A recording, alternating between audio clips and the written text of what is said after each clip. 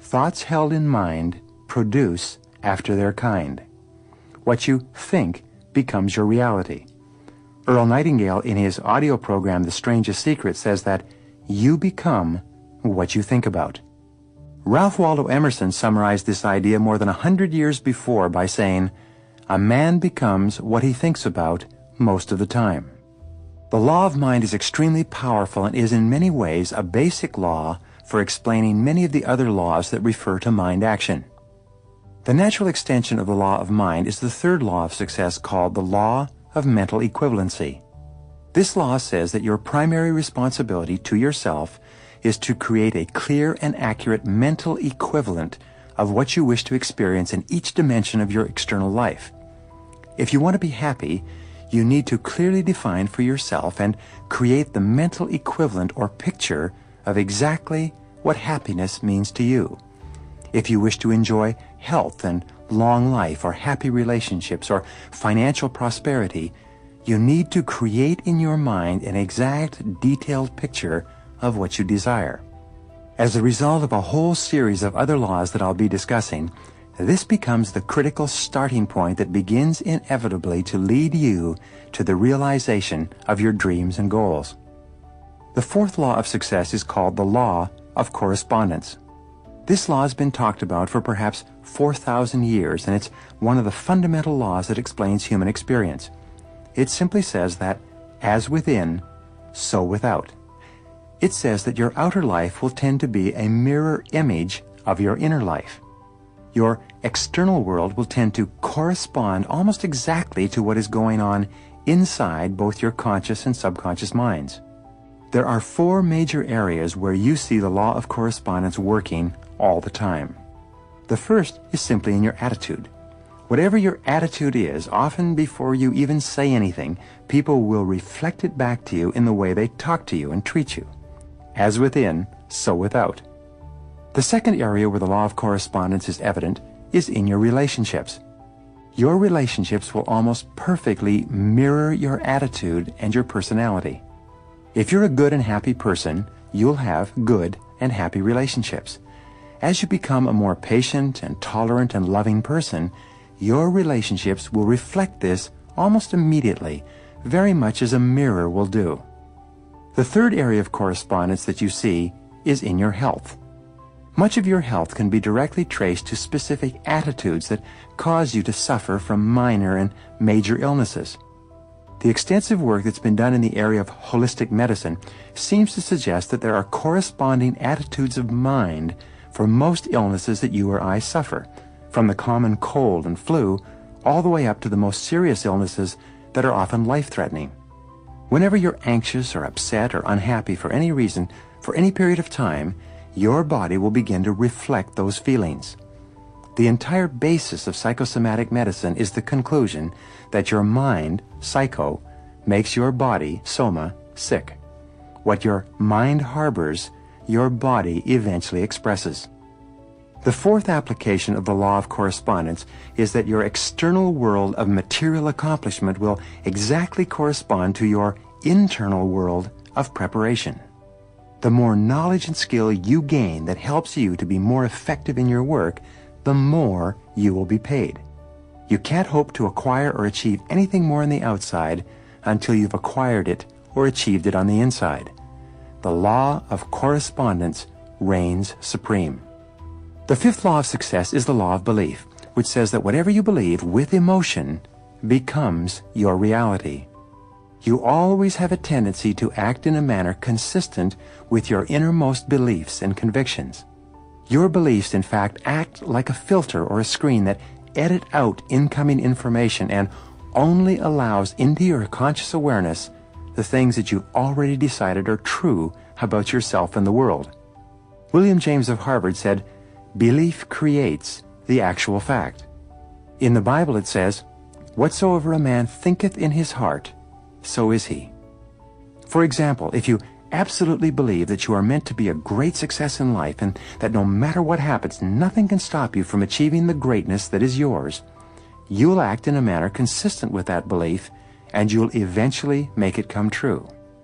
If you doubt your ability to be successful for any reason, this negative belief will be demonstrated in your tendency to hold yourself back.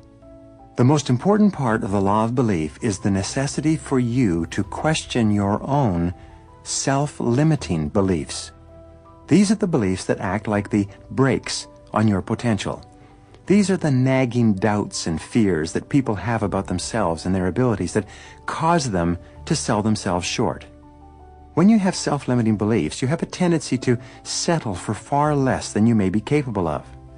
Self-limiting beliefs revolve around your ability to lose weight or quit smoking or earn a certain amount of money or be attractive to members of the opposite sex or develop new abilities that are more conducive to your success and happiness. One of the most important steps you can take toward achieving great success is for you to question these self-limiting beliefs. You might even ask others who know you well what self-limiting beliefs they seem to think that you have that may be holding you back. Remember, self-limiting beliefs are often used as excuses.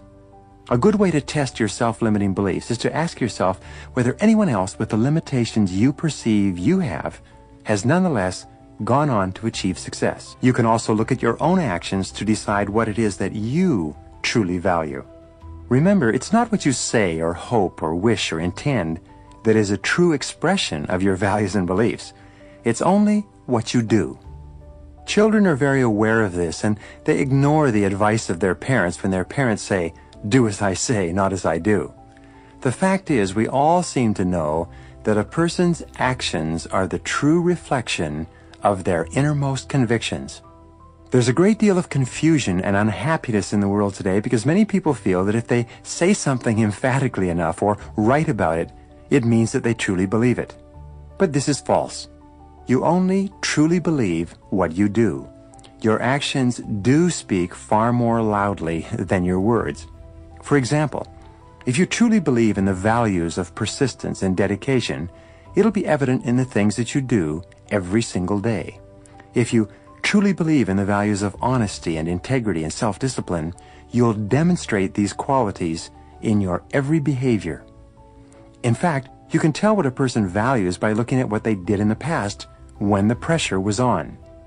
It's only when you're forced to make a choice that you know what it is you really value.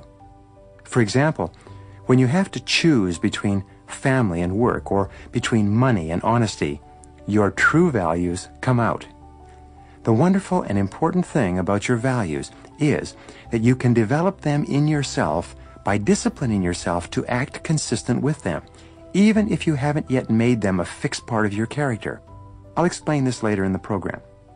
The seventh law of success is the law of motivation, which says that everything you do is triggered by inner desires and urges and instincts, many of which may be at an unconscious level, and your attitudes and behaviors will be determined by your dominant motivations, by what you really want and need in life, not by what you think you want. This is an extension of the law of values, and it's very important for you to understand. There's a simple formula called the ABC formula of human motivation and human action. The ABC stands for antecedents, behavior, and consequences. The antecedents are the things that happen before the behavior. The behaviors are the things you do. The consequences are what happens as a result of your behavior. We know that psychologically only about 15% of your motivation comes from the antecedents, from what you read or learn or are told to do or not do. However, about 85% of your motivation comes from your expectations, what you think will happen. It's your beliefs about the consequences, about the future, that causes you to behave in a certain way. The clearer you are about the consequences of your actions, and the more intensely you desire to enjoy the consequences that your behaviors may lead to, the more motivated you'll be. This is why it's so important to have absolute clarity with regard to your goals in each area of your life in order for you to be motivated to perform at your very best. An important point with regard to the ABC formula is that your behaviors are not guaranteed to achieve the consequences that you desire. But every behavior or action that you engage in will generate a consequence of some kind. One of the most important parts of understanding motivation and behavior is to realize that both actions and inactions have consequences. What you do, as well as what you fail to do, will have a consequence in your future, and sometimes the consequences can be dramatic and long lasting. A good exercise in success is for you to write out a description of the type of person that you'd like to be and the kind of life that you'd like to be living. The most powerful faculty that you have is your ability to think, your ability to understand. The more accurately you can think about who you are and what you want to accomplish and how to accomplish it, the more effective and successful you will be. The eighth law of success is the law of subconscious activity, and it has several applications. The first part of this law is that whatever thought or idea mixed with emotion you hold in your conscious mind will be accepted as a command by your subconscious mind. This means that whatever thought, idea, or goal you can hold in your mind on a continuing basis, you can have, because your subconscious mind will go to work to organize all of your thoughts and actions to bring it into your reality.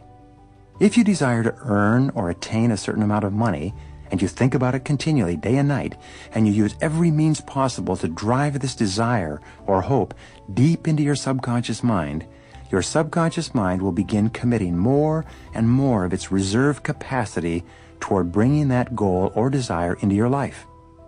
The second part of the law of subconscious activity is that your subconscious mind, once you give it the proper commands, will trigger your reticular cortex and its function, the reticular activating system. Your reticular cortex is a small, finger-like part of your brain that alerts you to events and circumstances around you that are consistent with your dominant desires or concerns. For example, if you decided that you wanted to buy a red sports car, this desire would signal to your reticular cortex that red sports cars are now of paramount importance to you. From that moment on, you would see red sports cars everywhere, even a block away. You would become extremely alert and sensitive to red sports cars as well as to the means of attaining one of them. If one of your goals is to achieve financial independence, and you imbue this goal with intense desire, your reticular cortex will cause you to be extremely sensitive to all kinds of opportunities around you that would help you to earn more money you would hear and see things everywhere that you might have been unaware of completely in the absence of having established this goal and planted it in your subconscious mind. The third part of the law of subconscious activity is that your subconscious mind, which controls your autonomic nervous system and all of your muscles, nerves, actions, and reactions, also controls your body language and your tone of voice.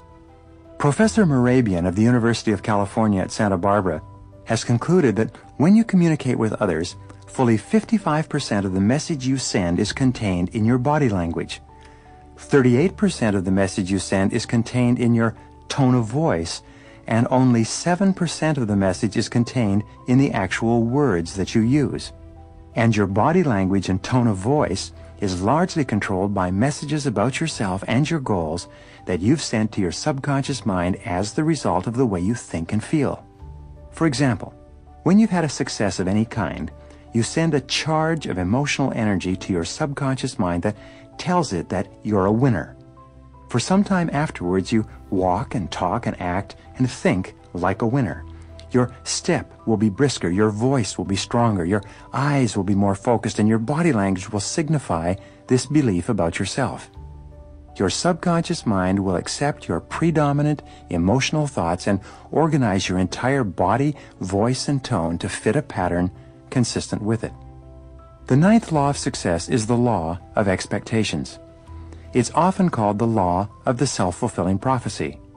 It's one of the most powerful of all laws because of its simplicity and its predictability.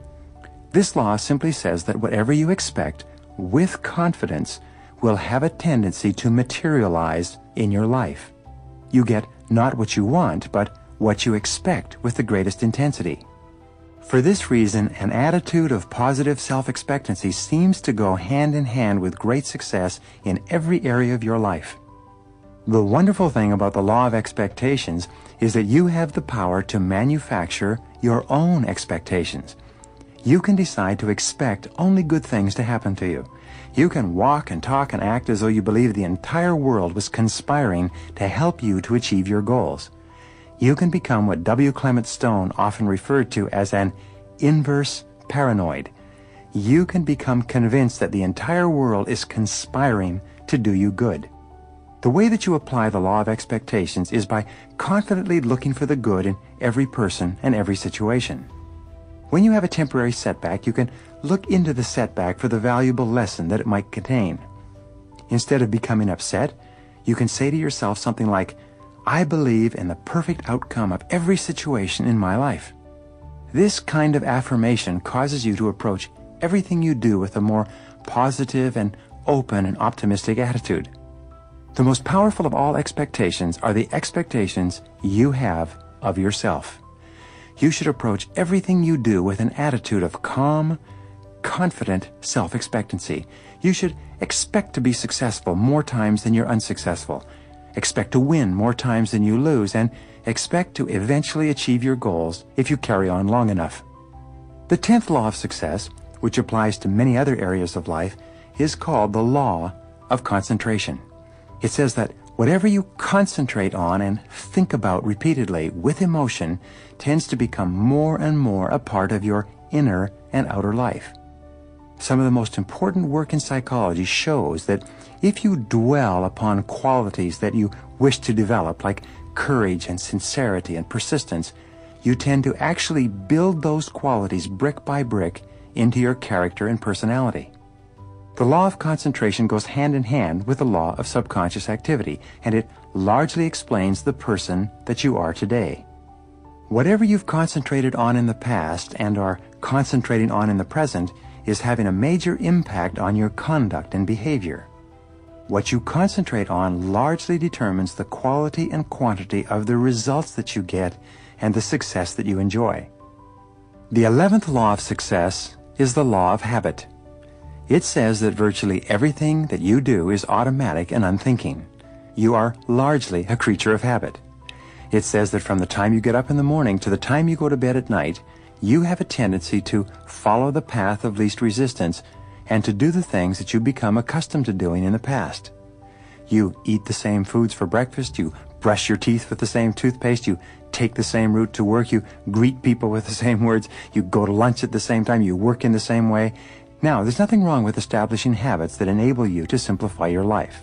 In fact, your life becomes successful to the degree to which many of the things you once needed to concentrate on, such as driving a car, have become automatic and unthinking.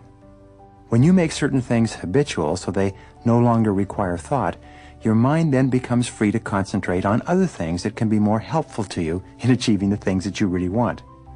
There are several parts of the law of habit, and the first of these is that Good habits are hard to form, but easy to live with.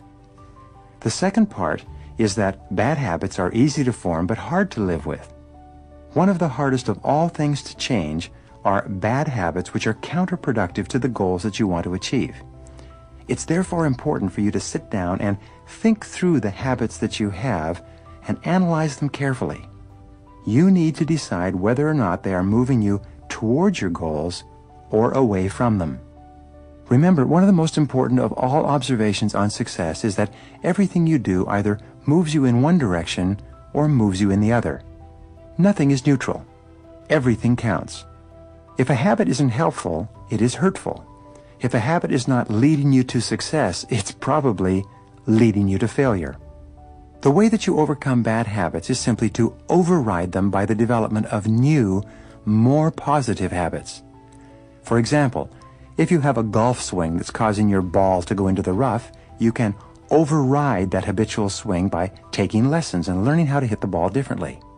If you have a habit of getting up later than you should, you can override that habit by repeatedly getting up earlier until that new behavior becomes the habit that dominates your thinking and your actions. By practicing the law of concentration in conjunction with the law of habit and thinking continually about how you would be with a new habit or behavior, you drive this message into your subconscious mind and you eventually begin to behave in a manner consistent with the new habits you wish to form. This brings us to the 12th law, one of the most important of all the laws of success, and that is the law of attraction. The law of attraction says that you are a living magnet and that you inevitably attract into your life the people, events, and circumstances that harmonize with your dominant thoughts. This is why we say that whatever you can hold in your mind on a continuing basis, you can have. Whatever thought you hold clearly and mix with emotion begins setting up a force field of mental energy that begins drawing towards you the things that you need to achieve that goal. This law of attraction has been written about for hundreds, if not thousands of years. It's contained in the old folk sayings, like attracts like, or like begets like. Or you've perhaps heard, birds of a feather flock together. My friend Mark Victor Hansen says that whatever you want wants you. These are all ways of saying that your mind is extremely powerful and that whatever you think emotionalized becomes a form of energy like a magnet that's attracting the events and circumstances you experience into your life. In music, the law of attraction is often referred to as the law of sympathetic resonance. It explains, for example, that if you have two pianos in a large room and you hit the key of C on one of the pianos and then walk across the room to the other piano, the C note or string on the second piano will be vibrating in perfect harmony or resonance with the C string on the first piano. One of the most common examples of this law is when you enter a room full of people and you almost invariably have a sympathetic resonance or attraction with someone else in the room. You'll have a tendency to gravitate toward a person with whom you are comfortable and compatible, and that person will have a tendency to gravitate towards you. Very often, two single people at a social gathering will have a level of sympathetic resonance that draws them toward each other and into conversation. By the same token, when you have a very clear goal or idea, you will attend to attract people to you and be attracted to people who have ideas and information and resources that can help you to realize that goal. Another illustration of the law of attraction is its opposite, which is the law of repulsion. When you begin to become a particular kind of person, because of the way you change your thinking, you will find yourself attracted to people who are similar to you, and you will also find yourself repelling and being repelled by people who don't think the way you do. This law explains why positive people tend to associate with other positive people, and why negative people tend to associate with other negative people, and why neither group finds the other group of very much interest. You can begin to fill your life with the kind of people that you respect and admire by simply becoming the kind of person in your thoughts that will attract them to you. The 13th law of success is the law of choice, which says that you are always free to choose the content of your conscious mind, but in so doing, you are choosing every other part of your life. Your thoughts control your reality, and since no one else but you can think for you, the thoughts that you choose to harbor determine everything that happens in your life. The wonderful thing about the law of choice is that it says that you have complete freedom to think and therefore to be anything that you intensely desire. The choice is always up to you. The law of choice also says that you are where you are and what you are because you have chosen to be there. If you're not happy with where you are and what you are, it's up to you to choose to be and do something else. The 14th law of success is the law of optimism, which simply says that a positive mental attitude goes hand in hand with success and happiness in virtually every dimension of life. The quality of optimism is the quality that makes you into a cheerful and pleasant person, a person that other people like and want to be around and help the most successful men and women tend to be very likable people. The more optimistic you are, the happier you'll be moment to moment, and the more things you'll be willing to attempt. The 15th law of success, the law of change, says simply that change is inevitable. The only constant we have in life is that of change. Everything is changing, even as you listen to this tape. But the wonderful thing about the law of change is that nothing is fixed either. All progress requires change, and since change is happening in any case, you can be and have and do anything you want by simply harnessing the forces of change and taking advantage of them. The law of change also says that your life can only get better when you get better, but not until. It says that you can't remain the same and somehow improve. The law says that if you don't take advantage of change, you will end up being the victim of change. Things will happen over which you have little or no control, and you'll simply have to go along and adjust your actions and behaviors to whatever occurs. Now, let me tell you a story that is true in more cases than not. Once upon a time, there was a young man from an average home with an average education, working at an average job, and who had an average group of friends. Like most average young men, he was primarily interested in girls and sports and television. He liked to have a good time and he spent most of his money enjoying himself. He looked upon his job as a necessary evil that paid for his average lifestyle, and, like most average people, he was going nowhere with his life. Then one day, something happened to him. Perhaps he read a book that woke him up, or listened to an audio program, or attended a motivational seminar. Whatever it was, he wasn't the same afterwards. He realized that he could choose to do and be something else. He applied the law of choice. By the law of change, he realized that his life could only improve if he began changing in a positive direction. Using the law of cause and effect, he made some decisions about what he wanted to accomplish and then began searching out the causes of the effects he desired. By the law of optimism, he was positive toward himself and his possibilities. He expected good things to happen, triggering the law of expectations. He went to work on his thinking and he began to dwell, the law of concentration, on his ideal lifestyle. By the law of subconscious activity, he began to walk and talk like the person he envisioned himself becoming. He also began noticing opportunities to advance himself that he hadn't seen before. As he changed his thinking, he triggered the law of mind and the law of mental equivalency, and he created a clear picture of his goals. By the law of correspondence, his outer world began to reflect his new, improved inner world. His beliefs about himself began to change, and by the law of attraction, people and resources began to appear to help him move toward his goal. As he concentrated on his desires, his values and motivations changed, and he began developing the kind of habits that lead to success. In no time at all, by bringing his life into alignment and harmony with the laws of success, he began moving forward at a rate that surprised even him. And so can you. The laws of success are based on the foundation principle that in order for you to succeed, you must first decide what success means to you. You can then begin to apply these laws to your definition of success to bring it more rapidly into your reality.